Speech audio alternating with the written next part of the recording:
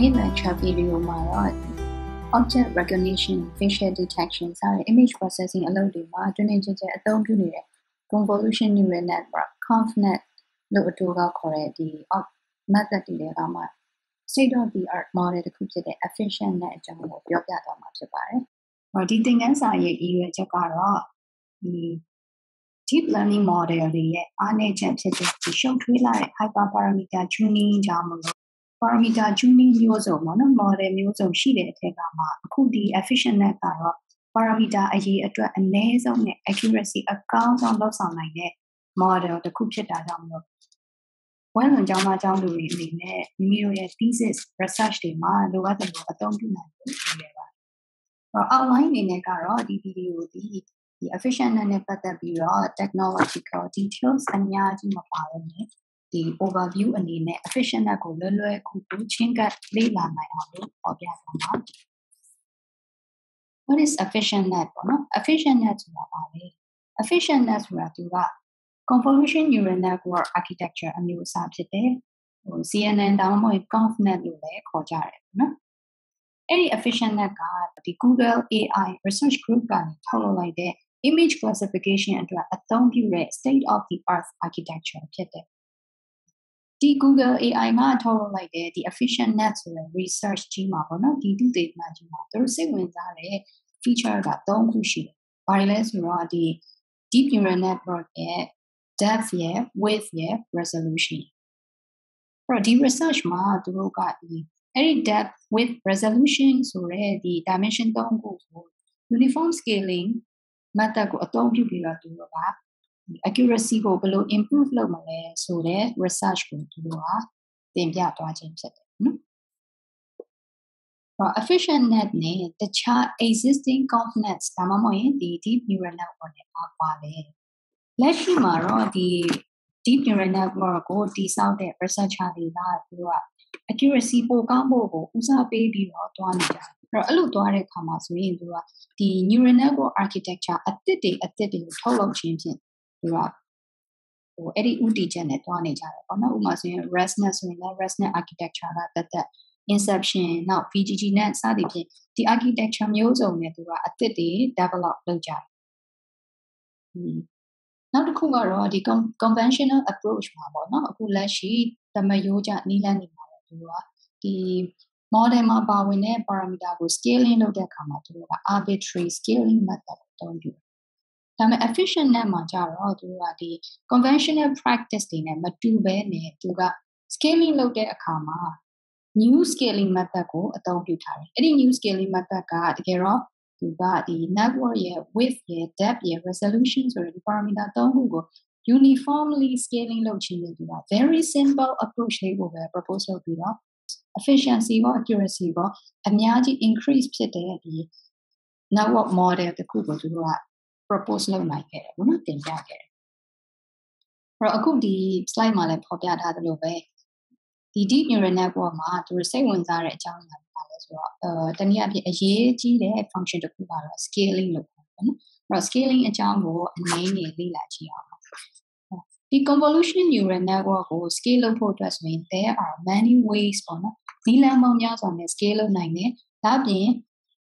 different resource constraints တွေကိုလည်း scale လုပ်လို့ရတယ်ပေါ့။အသုံးရတဲ့ scaling တွေကဘာတွေလဲဆိုရင် with scaling နည်းအားဖြင့်တော့ဒီ network ကြီးမှာ channel တွေဒါမှမဟုတ် feature maps ပေါ့နော်။ဒါတွေကိုပို့ပြီးတော့တိုးခြင်းအပြင်သူတို့ width ကို scaling လုပ်ကြည့်တယ်။ accuracy ကိုပိုတက်လာမလားဆိုတော့နော်။နောက်တစ်ချက်ကတော့ depth scaling တနည်းအားဖြင့် network ရဲ့ layer တော့ layer တွေကိုထပ်တိုးခြင်းအပြင်ဒီ network ကို accuracy ပိုတက်အောင်လို့သူတို့ကြိုးစားကြတယ် နောက်တစ်ခုကတော့ဒီ resolution scaling ပေါ့နော်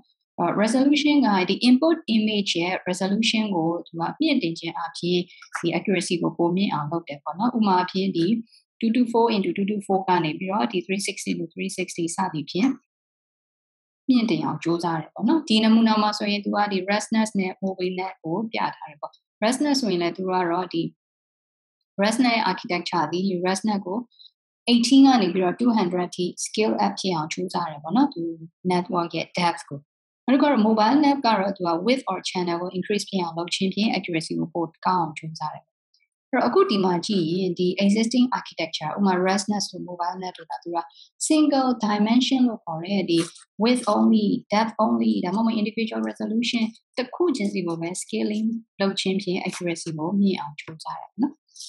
တော့အခုဒီပုံလေးကတော့ဒီ scaling နမူနာကိုပြောပြောပြထားတာနော်အဲ့တော့ baseline မှာဆိုရင်တော့သူတို့က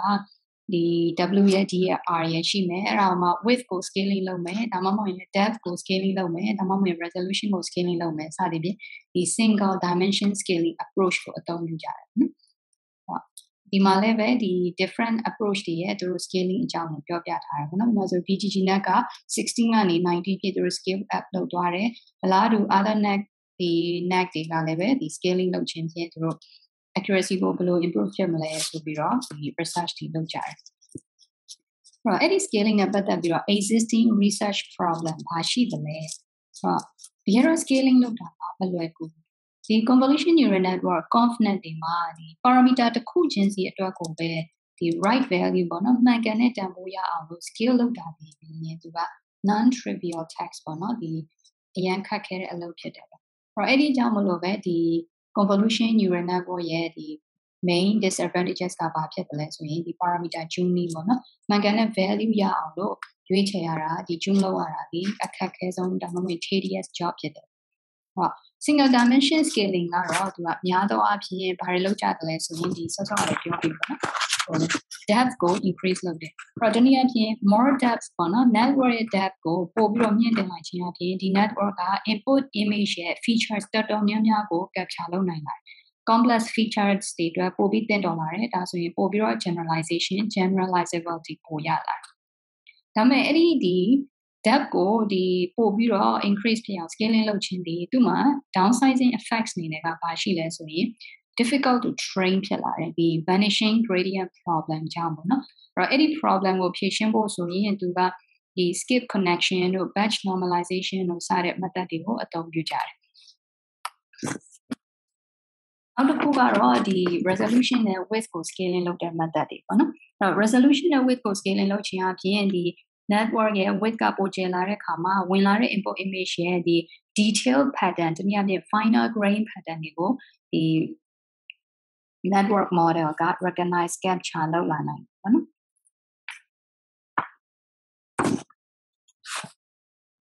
အဲ့ပြန်ပြီးတော့ခြုံငုံပြောရရင်တော့ဒီ baseline ပေါ့နော် existing method တွေက single dimension scaling ကြောင့်မလို့ဒီကဘာဖြစ်လဲဆိုရင် accuracy ကပိုပြီးတော့မြင့်တက်လာတယ်ဒါပေမဲ့အဲ့ဒီ accuracy gain ကလည်းသူက level တစ်ခုရောက်တဲ့အခါမှာ saturate အနေနဲ့တန့်သွားတယ်ပေါ့နော်ဒါပြီးသူ့ရဲ့ disadvantages ဖြစ်တယ်ပေါ့အဲ့တော့ဒီပုံမှာဆိုရင် တယ် scaling လုပ်တဲ့အခါမှာဒီ depth ကို scaling လုပ်တယ် resolution ကို scaling လုပ်တယ်စသည်ဖြင့် scaling လုပ်ခြင်းဖြင့် accuracy ကမြင့်တက်လာတယ်ဒါပေမဲ့ level တစ်ခုကိုရောက်တဲ့အခါမှာအဲ့ဒီ accuracy က off ပေါ့နော်ရပ်သွားတယ်အဲ့တော့ arbitrary scaling ကသူကဘာဖြစ်တယ်လဲဆိုရင်ဒီ manual tuning လေးလိုအပ်တယ်လို့အခု downsizing နေနဲ့ဒီ accuracy gain ကလည်း saturation ဖြစ်လာတယ်ပေါ့နော်အဲ့တော့ now ဒီ researcher တွေပေါ့နော်အခု efficient net ရဲ့ဒီ idea ကဘယ်ကစတင်လာတယ်လဲဆိုတော့အခုဒီ arbitrary scaling မှာသူက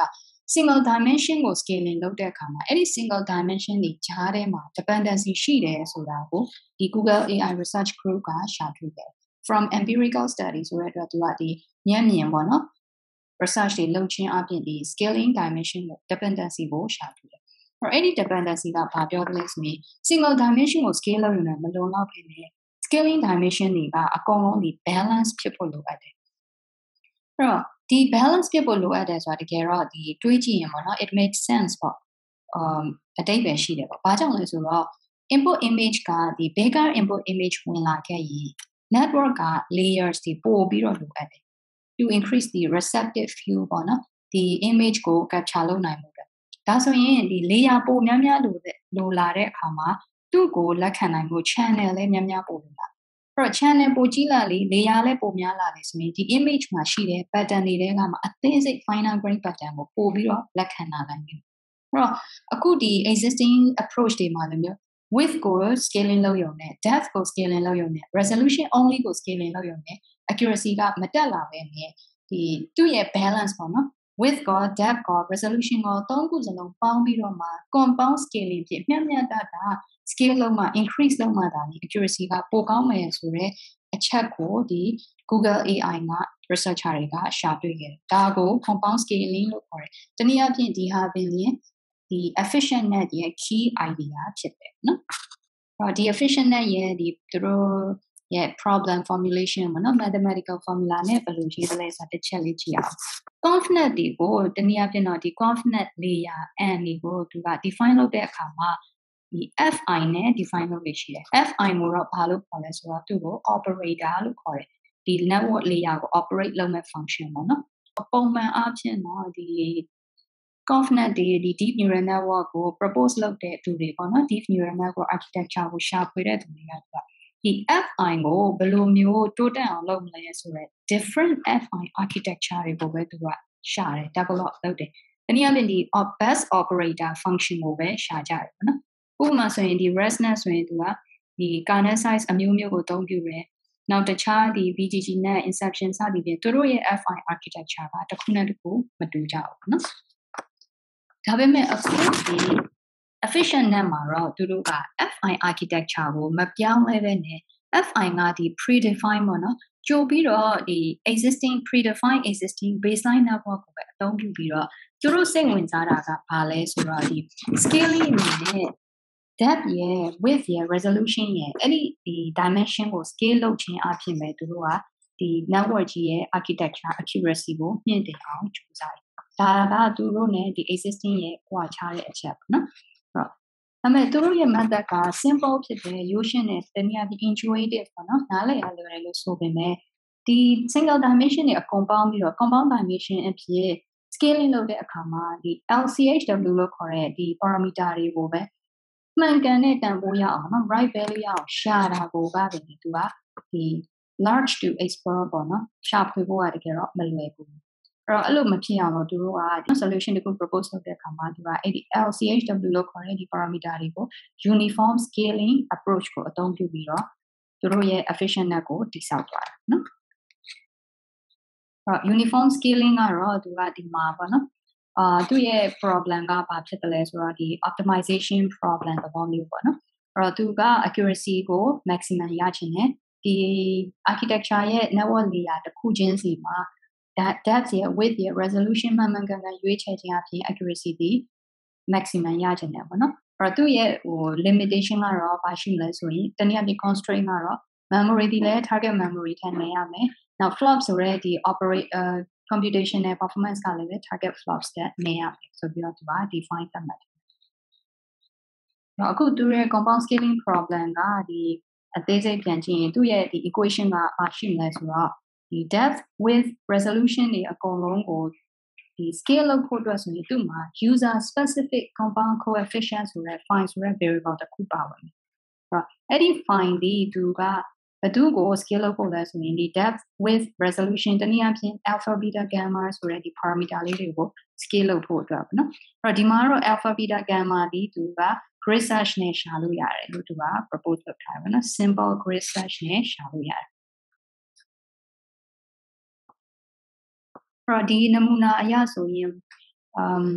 ကိုကဒီဒီသူတို့သတ်မှတ်ထားတဲ့ဒီ compound scaling က very simple ဖြစ်တယ်ပေါ့နော်ဒါအပြင် effective ဖြစ်တယ်ဘာဖြစ်လို့လဲဆိုတော့ကို့မှာရှိတဲ့ computational resource ပေါ်မူတည်ပြီးတော့ဒီ deep neural network ကိုကိုက scale လုပ်လို့ရတယ်။ကို့မှာဆိုရင်ကို့မှာဒီ 2n times ပေါ့နော် computational resource ရှိခဲ့တယ်ဆိုရင်ကိုကဒီ network က parameter ကို n power တင်ခြင်းအပြင်ကိုယ့်ရဲ့ budget ကို budget alike ပေါ့နော်ရှိတဲ့ဒီ network ကို scale လုပ်လို့ရတယ်အဲ့သူ့ရဲ့ algorithm ကတော့ဘယ်လိုလုပ်တယ်လဲဆိုရင်ဒီ simple algorithm ကပေါ့နော်အရင်ဆုံး baseline network အနေနဲ့အကောင်းဆုံးသော fi ကိုရွေးချယ်တယ်ပေါ့နော်ဒီမှာကတော့သူတို့ကဒီ mbconf လို့ခေါ်တဲ့ mobile bottleneck ကိုသူတို့ကရွေးချယ်ထားတယ်နော်ပြီးတော့ step 2အနေနဲ့ကတော့ဘာကိုရှာလဲဆိုတော့ဒီ alpha beta gamma လို့ခေါ်တဲ့ constant ratio တန်ဖိုးကိုရှာတယ် file ကို1နဲ့စတယ် ပြီးတော့ step 2ကတော့ဒီ baseline network ရပြီဆိုတာ ਨੇ ဒီ file ကိုဟိုတဖြည်းဖြည်းနဲ့ပေါ့နော် increase လုပ်ခြင်းအပြင်သူကပို့ပြီးတော့ကောင်းမွန်တဲ့ different network architecture B1 ကနေ B7 အထိရှာသွားတယ်နော်။ဒါကသူတို့ရဲ့ဒီ architecture diagram ပါ။ဒီ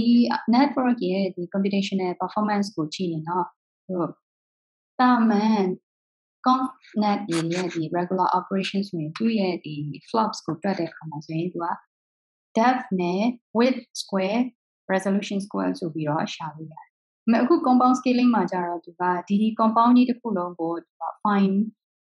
ကျိန်မြောက်ပေါ့နော်ဒီရှာတာဖြစ်တဲ့အတွက်သူ့ရဲ့ flops ဒီသူက fine power များများလာတယ်ပေါ့။အဲ့တော့အဲ့ဒီ fine power အနေနဲ့တွက်တဲ့အခါမှာဒီ power of consumption ကို short ချနိုင်အောင်လို့ဒီ constraint အနေနဲ့သတ်မှတ်ထားတာကတော့ဒီ alpha beta gamma ရဲ့စုစုပေါင်းတန်ဖိုးက less than 2အနေနဲ့သတ်မှတ်ထားတယ်။အဲ့တော့ဒါကြောင့်မလို့ဒီ total flops တာပေါ့နော် approximation အနေနဲ့2 power 5ပဲရှိမယ်လို့သူကခန့်မှန်းရတယ်။အဲ့တော့ဒီဟာဒီ multi objective optimization ဖြစ်တယ်အဲ့တော့အဲ့ဒီ optimization ရဲ့ဒီ problem ကသူကဒီ equation ကိုအသုံးပြုပြီးရှာထားတယ်ပေါ့နော်သူရဲ့ problem ကသူက to optimize accuracy နဲ့ flops ပေါ့နှစ်ခုစလုံးကိုသူက optimize လုပ်ချင်တယ်အဲ့တော့ဒီ equation နဲ့ရှာတဲ့အခါမှာ W0.07 ကတော့သူက hyperparameter tuning ကို control လုပ်ဖို့အတွက် parameter တစ်ခုအနေနဲ့အသုံးပြုထားတယ်ပေါ့နော်။ဒါပေမဲ့ဒီ equation ကသူအခုဒီမှာပြထားတဲ့ reference paper ကနေလာတာဖြစ်ပြီးတော့အဲ့ဒီ paper မှာအသုံးပြုထားသလိုမျိုး latency ကိုတော့ထည့်မစဉ်းစားထားဘူးပေါ့။ဒီ original paper မှာကတော့သူက different device တွေအတွက်ကိုပဲရည်ရွယ်တဲ့အတွက် latency ကိုထည့်ပြီးစဉ်းစားထား။ ဒီ paper ရဲ့အဆုံးမှာသူတို့ကဒီ efficient net ကို experiment လုပ်ပြထားတယ်ပေါ့နော်။ဘယ်လိုလုပ်တယ်လဲဆိုရင်ဒီ existing popular အဖြစ်ဆုံး network တွေဖြစ်တဲ့ဒီ ResNet denseness inception exception mobile net စသည်ဖြင့်အဲ့ဒီ net တွေနဲ့သူကနှိုင်းယှဉ်ထားတဲ့အခါမှာသူတို့ရဲ့ဒီ from result ပေါ့နော်။ဘာတွေ့ရတယ်လဲဆိုရင်ဒီ B0 ကတော့ဒီ state of the art